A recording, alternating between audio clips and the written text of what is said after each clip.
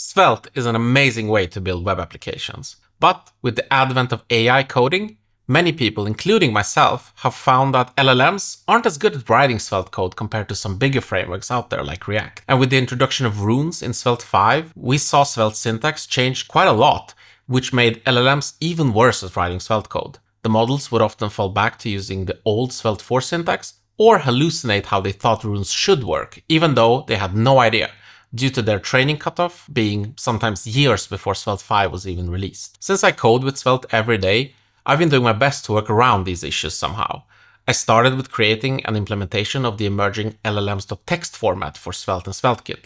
With these files, you could get the entire Svelte and SvelteKit documentation as a single text file and add it to your AI conversations. This helps resolve the most egregious errors that LLMs would make, but since the Svelte documentation is quite large, it also eats into your context window when you use these files.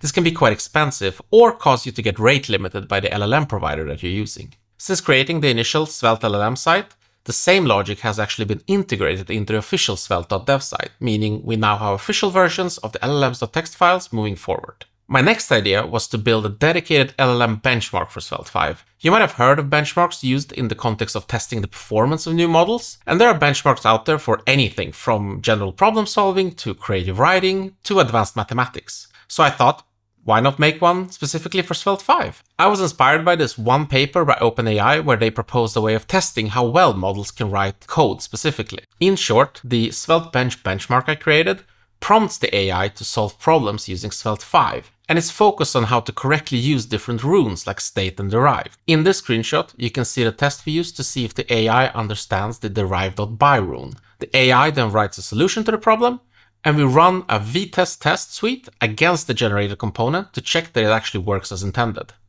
If this sounds interesting to you, I plan on making a whole video on how I built Svelte Bench, going into all the nitty-gritty details of building an LLM benchmark. So if that sounds interesting to you, don't forget to subscribe to see that video. I've been running this benchmark for a few months now, continuously updating it as new models have come out. And in this video, I thought we would focus on the results that we've seen so far. I'll go over the three largest LLM providers, OpenAI, Google, and Anthropic.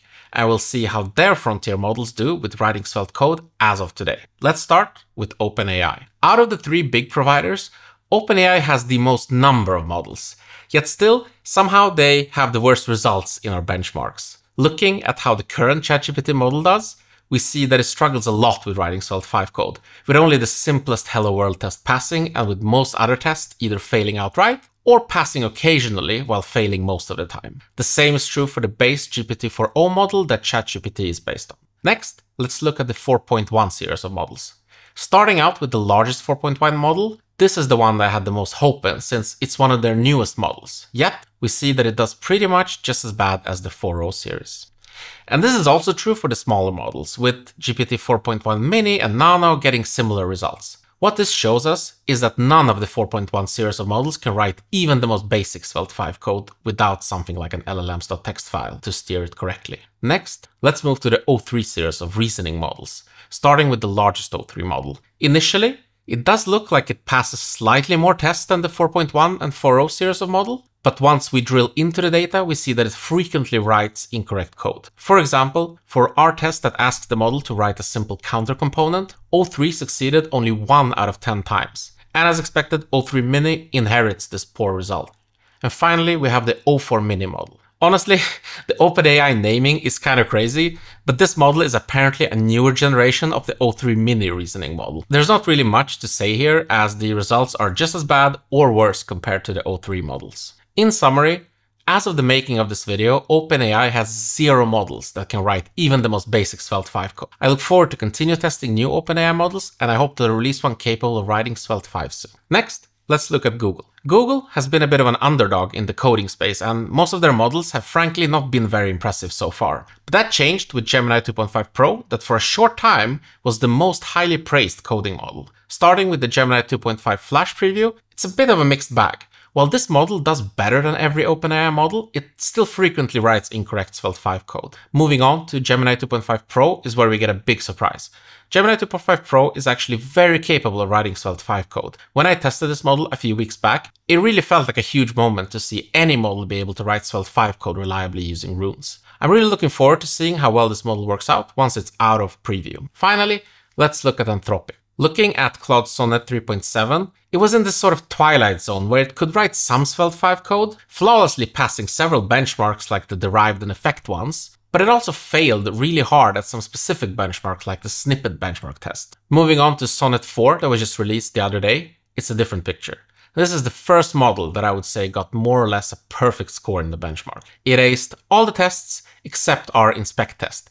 And the reason for that is probably that the inspect rune isn't used very much in production code, so there's just less to learn from for a LLM model. As far as I'm concerned, this is the first model that was truly capable of writing Svelte 5 code. Moving on to Sonnet's big brother Opus, the same is true there getting a perfect score except for the inspect test. I think Anthropic really cooked with Sonnet and Opus 4, and if you have a choice, I would say that it's by far the best model to use today. And of course, you can still use the LLMs or text file in case you run into some edge cases that the model still can't handle, or something along those lines. When I started looking into LLM support for Svelte 5, I wasn't sure how long it would take for models to support Svelte 5's new syntax, and I'm impressed that it only took about 7 months since the release of Svelte 5 in October of 2024 for models to be able to write Svelte 5 code. That might seem like an eternity in the AI world, but all things considered, it's, it's very fast and impressive. I do have some other things planned around AI and Svelte 5, specifically around training local models. And so if that sounds interesting to you, don't forget to subscribe to see that video first. I'd also love to hear your thoughts on this. Which models have you had the most luck with? And what are your tips and tricks to get the most out of the existing models we have for writing Svelte 5? Leave a comment with your tips and don't forget to press like and subscribe if you like this video. See you in the next one.